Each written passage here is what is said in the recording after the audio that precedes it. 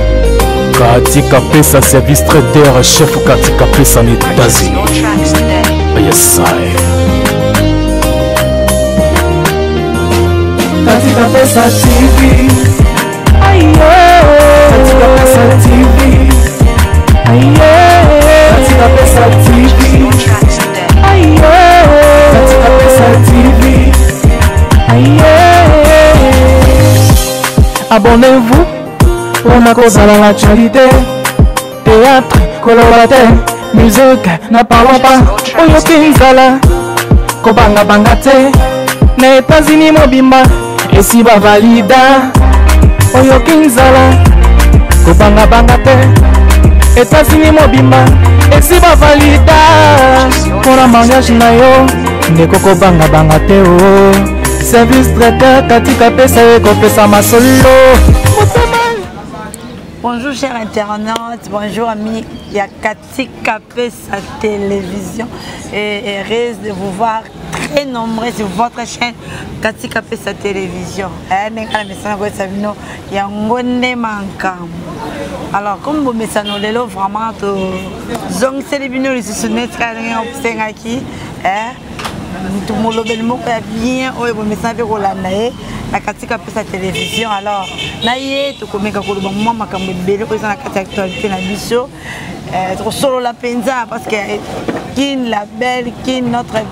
capitale eza nde makambo donc bolali bolamuki ebimi bolali bolamuki babwaki olali mpo nabuki babwaki donc actualité eza ebele nabanzi eh, tokosolola vraiment mingimingi na makambo etali eh, album na ye tokosolola lisusu na makambo etali eh, bokangami ya peniel tokosolobela lisusu makambo etali bawario est ce que apesa biso position aza wario to mpe aza aza alongwe na, na, na wario position ne akomi aza wapi ye moko aza mie pase mpona kolobela biso vraiment eza ebele tozwa monopole ya parole te bokoyeba moto yango ezali nde manike de jo manike de jo mama moko bien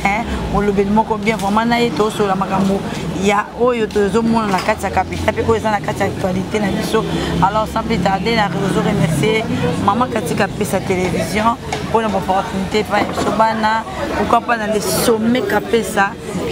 moko na kati ya illinois et aussi à notre réalisateur notre réalisateur le retour fils okungu tobotwa biso boye na propreté nyonso vraiment na tintunga boyebake no ye mei azongeli masolo alors sans plus tarde cameraman fongola biso nano baye ya biso bamona ndenge nini maye ya biso manike mpe asexprime alors Bonjour Manike. Bonjour maman. Boni santé. Santé ça va na ngolo nzambe nzambe osala grâce. Na mona déjà pe mikolo na kokote. Bon, omoni dans la vie d'abord na okomisa nzambe. Omoni ngolu epesamaka na motu nyonso me motu alingaka moninga apesa ye ngolu me ntango ye azongisela moninga aolinga te yango ntango toyo remarke ke nzambe kaka nde apesa yango paster atom alobi cache toi bomba na ye esika jezabele na bato na ye bamoni te bomba na ye isi en prière donc toye otala ti tobi ah tobimisi bato tozwi eloko te parce que ma petite sœur bato badesevaka moto adesevaka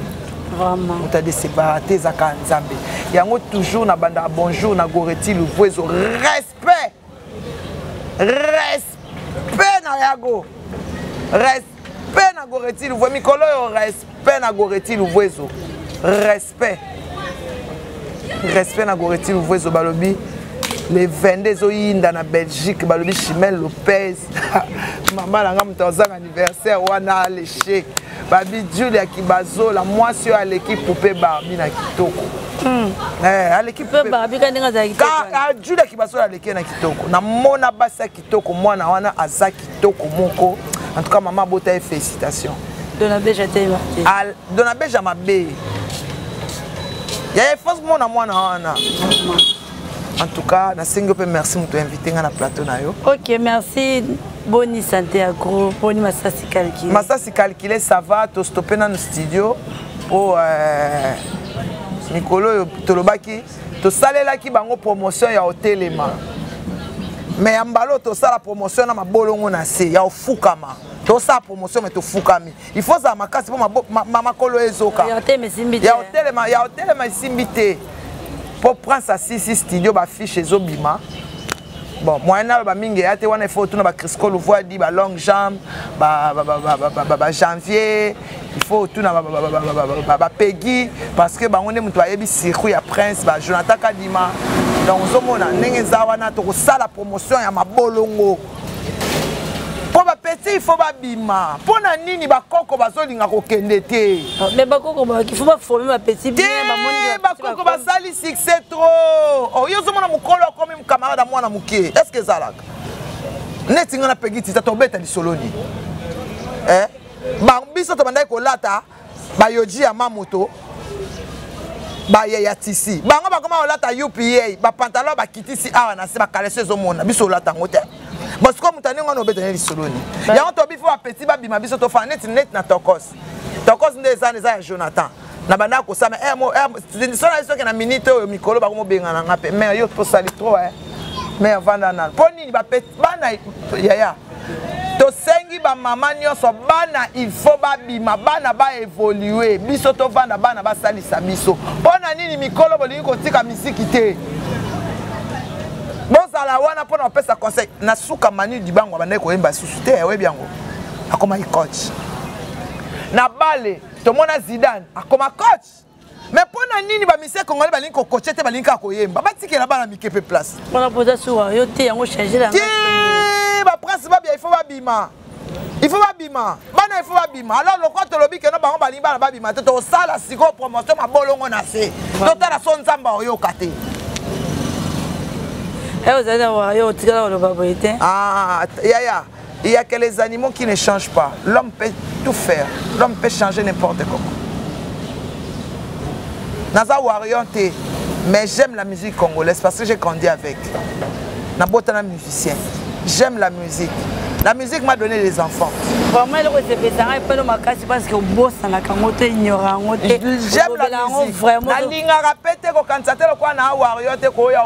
finga fali toa esimba te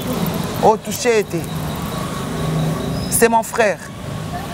yango yango mundele ye moko aloba ya la famille restreinte la famille élargie et la famille restreinte donc famille ya molai eyali neti afrique mobimba boa famille ya molai bafali bafere bagogan ba bafali bafamille restreinte na so osimbi osimbi lingwele fo nasilika ndenge outi osilika ndalandi yo vraiment osiliki makasi makambo ya kisinjora outi okota bango mpe na actualité mpo yango nde eza likambo nike tocomprane te mbala moko change position touti omona baguerre makasi awa mais sibitima boye bondeko mpende ozongi mpa na kati ya makolo okoteli kisinjora beta na njora njora aza singa ya silikoti ozobeta yango ezolemba mekatanaka te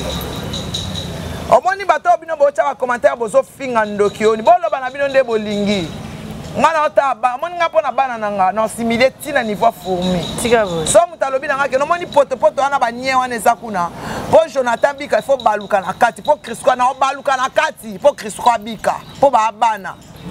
botongo yeba yango mpo nyi banda kala olingo ya barando kasi bafani moto akabolaka biso te bokasi nini neti ke guerre yanga na njoka mbalu to na problème te batinda ye batinda ye afinganga ye soki azalaki mwasi ya mayele alinga aye wana semeki na nga manike likambo wana elekai ndeli nga mpe nazalaki na kati mpo ntango nazokita nayebisaki nga bivie omoni nde naobima boye lobi na ntango elela na olelise mpo kobeta ngai eloko abeti ngai te me kokanisa te lokola nalobi bongo yo ye obandi kofinga quadra quadra boye quadra makambo wana ti makambo ya journaliste oyo abetaki abetaki likolo alobaki yo nga papa na biso atangisanga classe natunaki ete bashongo na bahibertine mbungu babanda na journal télévisé yo banda na nini na miziki yo kofinga musicien tata na afutela yo classe pozala chroniqueur poza journaliste abanga ah, journaliste te biso na bango toanenga kuna tangi fasiki te me nasalaka mosala bien koleka bango soki babengaki nani nati eh, awuti ofinga kofi awa ese nabosani ke kofi apimela ye nga mbote nakoteli ye yango babi ya famille restreinte et la famille élargie neti banati lokolo baa bafamille élargie epa na ngalakini pourquoi dra na mabe na ye na malamu na ye nalialaka quadra ata mbongo te mais soki quadra abimisaka babia te le prince abotama te ce sont des souvenirs parce que soki na ndenge nini njora mpe mosusu manike makambo ya lite ya kanda ebandaki na ndenge kasi yango mpe natunaki lite ya kanda njora asalelaki yo emission yango nde ememisi ye ngambo ebongo yo bazoluka njora osaleli ye nini yaloba supa azonga makala te il faut aloba o oh, yo moto asinyele yo liwa yo mpe sinyele yo liwa ti yo mpe sinyele yo liwa soki lelo njora de problème avec likondi protège à cause ya lite ya kanda sikoyo lite ya kanda na part na ye sikoyo asali njora nini ah. toye koyeba verité ke lite ya kanda batindika ye te lite ya kanda baloba na ye kaka nokita na podium alasa baimage azoka na baje lokuta mensonge mensonge babi bazala ye bercy mwana na pdg oyo babenga na ntanga na communauté pdg ya mondele eh, oyo bakangisi bagarde na ye bakendoloti mosala esalami yaya général kasongo respect mosala esalama te de père et de mère mosala ezosalama na kinshasa de père et de mère yo ya boya osala bajeune ya congolais président na biso aza congo président na biso akinois kombo na ye félix antoine tshisekedi akinois mosala esalami baa na ndolo ah. babaki babete masasi na makolo batuni bango bayi baarme bino boa bacivile bobeta moto masasi nde yeni seke vous gardez les armes à la maison vous tuez des gens il faut balakisa ba arme wana baswa parce que mobutu abanisa porte d'arme na mboka obanda mobutu mobutu aboya yango oyebake na mboka naso droit porte d'arme ya laa toyeba yango so oza na besoin oza na arme ifo ozalaka na soda to na garde du corps oza na droit droit ya porte d'arme biso apesaka biso yango te civil okoza na arme epaka eh, kota na basoda na ntina kati ya concert fali eh, eh, sikoyo explike yango na ndolo ndolo mpe gbata na mo mama e nzala eza na mboka wana landa bana bato e eh? bana bato oyo sacrifie mpo batika yo landa bango kotika bango te ah, bapatron bakenda baconcert ba 10 000 dollars e eh, likonzi protège bubuli yo ndela bapatron bakenda na baconcert ya fikine te bapatron bakenda na baconcert ba 10 dollar o oh, patron bapatron bazalaka su te na mboka baa na mbongo te baosenga butubutu ndenge ngai naboyi na ngai motu te ngai alobi kaka bapatron bakenda na baconcert ba 10 dollar tobanda omona awa concert ezalaki na concert place ya vip eyalaka na place ya bato eyalaka oh, yo patron ke concert afiki boni boyeko boni boyeko manike etoli toyeba lelo oyo otiki wario oso wario te toyoki eke okenda osala test eh. olingi okende osala test eh, mpo okoma golia est vrai ou non nakoma nani golia golia nani papa na herve golois oui naki osala te sina koma golois kolandi te bagolois bazala basala nini olandi te te nalandi bien te nasala te se golois bagolois basala nini merci basele ya ya respecte nga nazala mwasi ya babia ata nazalaki mwasi ya babia ya ofele mais nafanda na ye 18 ababi asala succès na mboka oyo alors mpo nazala mwana mosano il faut sala succès koleka shoko mais nasi olanda nasi basele te baza na mposa batekama batalama il faut ntanga koma manike ngai akozala mwana mosala moto aza mokuse te nakoza mwa mosala kaka ya musicien te so nakumisa fali parce que fali atelema na quartier latin na chorale des anges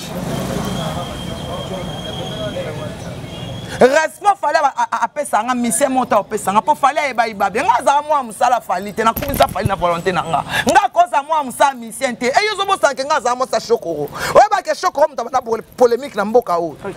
eh, yo nabobanga nga te yanga sokoko abanda osima ngai na liboko nde mobutu abanda osima bobila dawa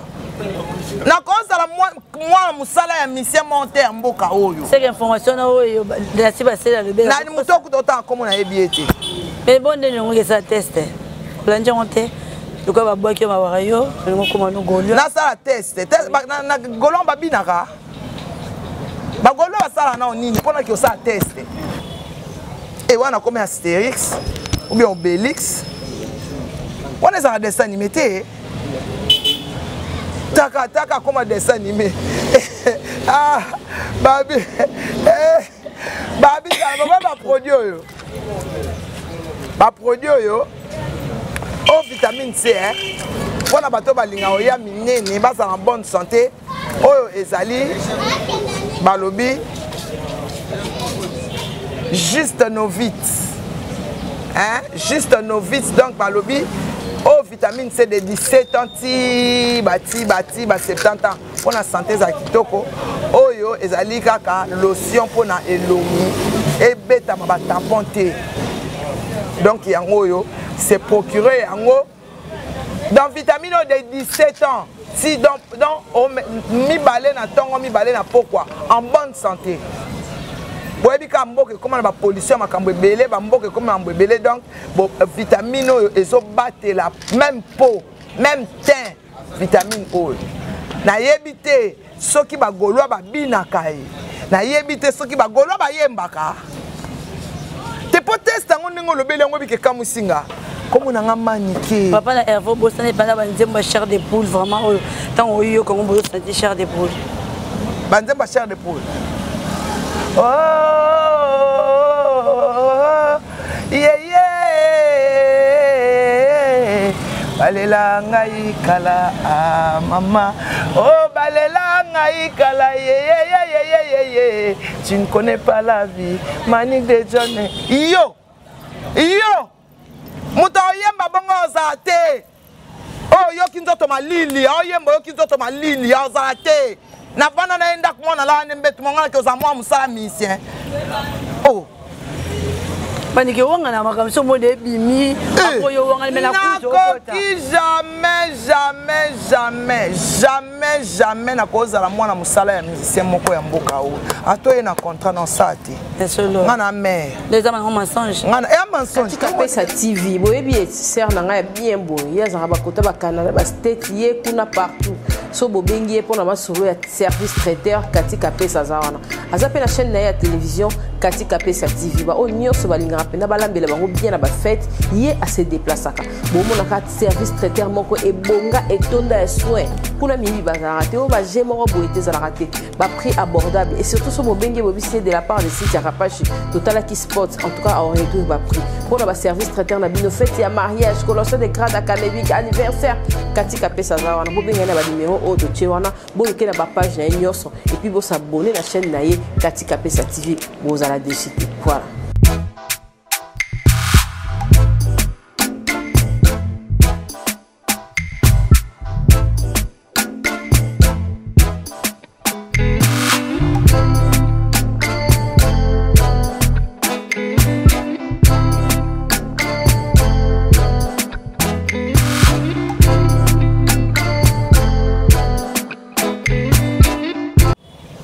e wana akomi astérix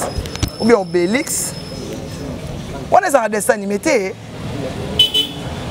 takataka akoma dessin anime ah, babi eh, babi kala baba baproduit oyo baproduit oyo o oh, vitamine c eh. mpo na bato balingaka oya minene bazala en bonne santé oyo ezali balobi juste novite hein? juste novite donc balobi oyo oh, vitamine c de 17 ans ti bati bati ba 70 ans mpo na sante eza kitoko oyo ezali kaka lotion mpo na elongi ebetama batampon te donc yango oyo se procure yango donc vitamine oyo de 17 ans si donc donc oh, mibale na ntongo mibale na pokwa en bonne santé boyebi kaka mboka ekóma na bapolisi ya makambo ebele bamboka ekóma makambo ebele donc vitamine oyo ezobatela même po même teint vitamine oyo nayebi te soki bagolwa babinaka ye nayebi te soki bagolwa bayembaka te mpo teste yango ndenge olobeli yango ebike ekamwisi nga nkombo na nga manike papa na herve obosana ebanda banzembo ya chair de poule vraiment oyo ntango oyoka yango bozosanti chair de poule banzembo ya chair de poule oh. yeye balela ngai kala ah, mama o oh, balela ngai kala yeyeyeyeyeye tu ne connais pas la vie manik de john yo yo moto oyemba bongo oza te oyoki nzoto malili aoyemba oyoki nzoto malili aozala te na bana na ye ndako mwana laa nde mbetu monganaki oza mwa mosala misien o oh. manike owangana makambo so mode ebimi eh. akoyo owangani me na kutu okota nakoki jamais jamais jamais jamais jamais jamais nakozala mwana mosala ya musicien moko ya mboka oyo ato ye na contrat na osala te nga na mare eza bango mensonge nga ya mensonge te omona teke ya lokuta bagolola babina kayo na tili babina nga sa teste na bango eboyi eh, o image bino boyaka na bainformation sans image otanga ifasike eh? ah, omoni bana ifasike tanga babana ifasike tufina bino boyaka na bainformation sans preuve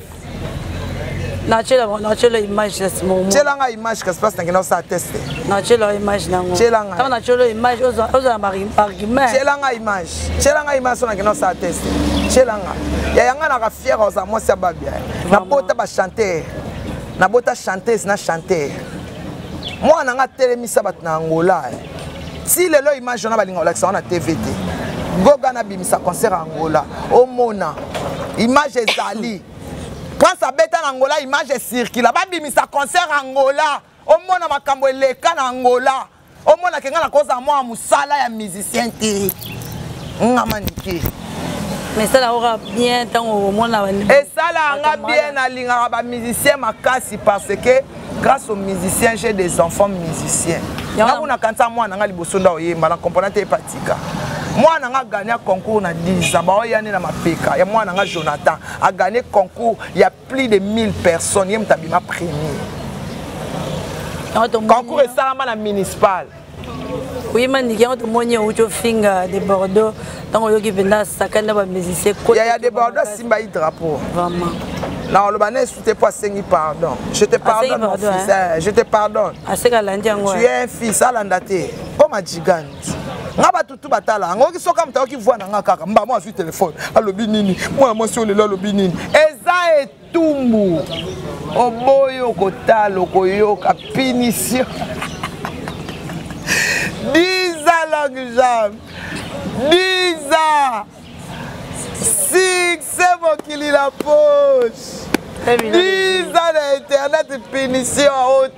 tala okomante oh, ata ofinga ndoki otalaki ngai mpo ofingaka ndenge wana otalaki mokili na posi manike babi azala sui te mais ozo maintenir toujours respect mobali ozo mérite ozo mérite toujours respect bana mais